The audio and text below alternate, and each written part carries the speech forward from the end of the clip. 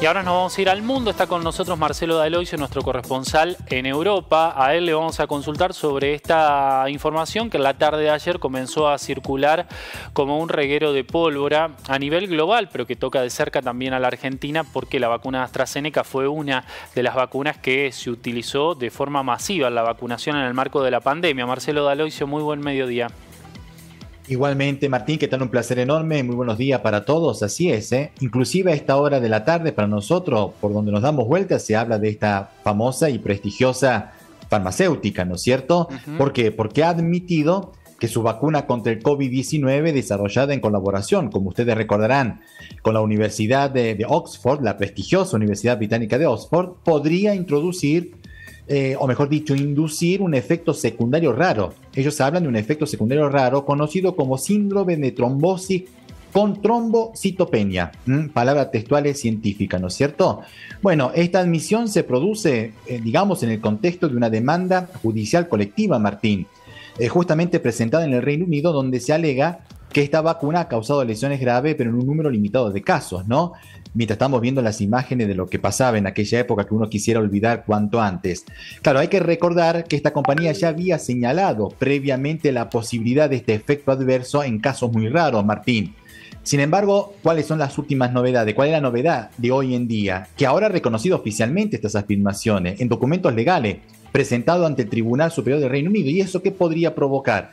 Y esta admisión por parte de la farmacéutica, bueno, podría allanar el camino para un acuerdo de compensación. Por acá se habla de unos 100 eh, millones de libras esterlinas.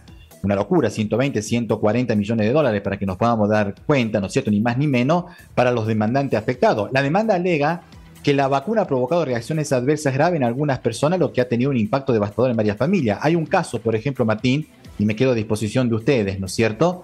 De una persona que ha sufrido una lesión cerebral irreversible después de desarrollar un coágulo de sangre y una hemorragia cerebral tras ser vacunado en abril del 2021 digamos, eh, por esta vacuna. Pero ¿qué dice, digamos, AstraZeneca, aparte de reconocer estos efectos adversos secundarios raros, ¿no es cierto?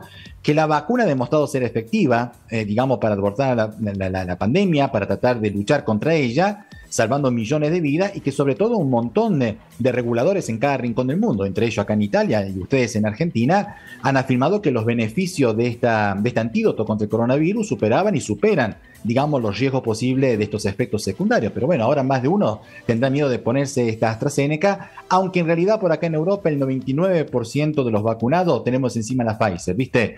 La AstraZeneca, digamos, provocó muchos casos de trombosis, fundamentalmente para mujeres, y desde aquel entonces muchas mujeres, mm, en realidad, Martín, rechazaron ponerse esa porque tenían la posibilidad de optar pero en aquella época no veía la hora de tener una vacuna de cualquier empresa, de cualquier farmacéutica con tal de salvarte la vida, ¿viste?